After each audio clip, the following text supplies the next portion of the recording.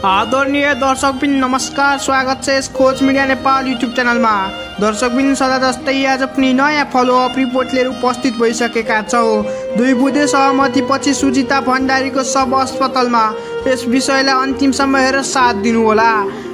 जिल्ला राप्तीको नगरपालिका तिनबाट सुजिता भण्डारीको सब भरतपुर अस्पतालमा लगिएको छ। प्रशासन र स्थानीय बीच दुई बुधे सहमति भएसँगै सब लैजान गरिएको अवरोध हटेको हो। र सबलाई अस्पताल पुर्याउन चितवनको प्रमुख जिल्ला अधिकारी प्रेमलाल लामिछानेले बताएका छन्।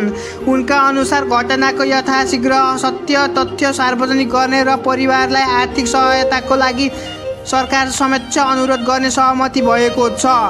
पीडित पक्षले चौबिस घन्टाभित्र दोषी पत्ता लगाएर कारवाही गर्ने लिखित प्रतिबद्धता नआएसम्म सुजिताको सप लैजान नदिने माग राखिएको थियो। र पोस्टमार्टम नभएसम्म मृत्युको कारण नखुल्ने र अनुसन्धानको प्रक्रिया अघि नबढ्ने भएको समस्या हुने भएकोले सब अस्पताल लैजान दिने सहमति भएको थियो। के भएको थियो त? राप्ती नगरपालिका तिनकी भण्डारी नौ दिन अघि घरबाट निस्किएकी थिइन्। अघिल्लो दिन साँझ उनले दिदीलाई साथीको घरमा जाने भनेकी थिइन्। सुचिता भण्डारीको बारे निष्पक्ष छानबिन होस् भनेर काङ्ग्रेसले बताएका छन्। नेपाली काङ्ग्रेसका चितवन राप्ती नगरपालिका सुचिता भण्डारीको मृत्युबारे निष्पक्ष छानबिन गर्नुपर्ने माग गरेको छ।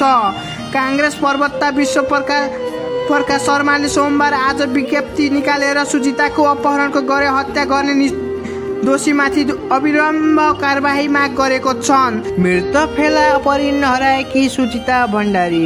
यस विषयलाई अन्तिमसम्म हेरेर साथ दिनुहोला। चितवन उपहरणमा परेकी भनिएकी चितवन राप्ती तिनकी बाइस वर्षीय सुजिता भण्डारी मृत्यु भेटिएको छन्।